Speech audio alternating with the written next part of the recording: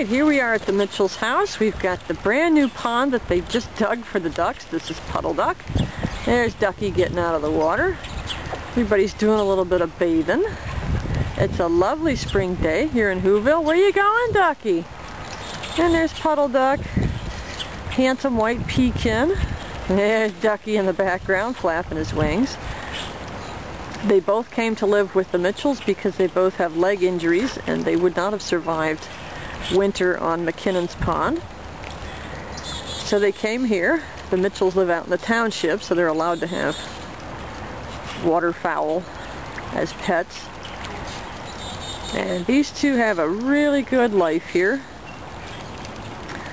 They're spoiled rotten.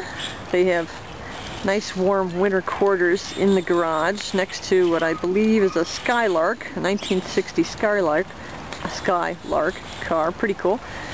Um, lots of straw to keep warm, a heater, lots of food. And then here we are come spring and the Mitchells built this lovely new pond just for the ducks who are very busy making themselves presentable. So these two abandoned domestic ducks get a happy ending and a forever home. This is not a typical ending. Um, one of the ducks down at McKinnon's Pond was killed just the other week by a predator. There was nothing left. There goes Ducky back in the pond. There was nothing left of the duck except feathers and one foot.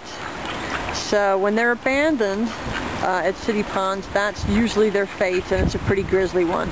These two got lucky. They um, they were looked after by me, and then I handed them off to the Mitchells, and they're going to live out their days in very good style here. Well loved and well looked after. So that's Ducky, the black one, and Puddleduck is the white one. Now you've met them, you know who I talk about on my blog, you can put a face to a name.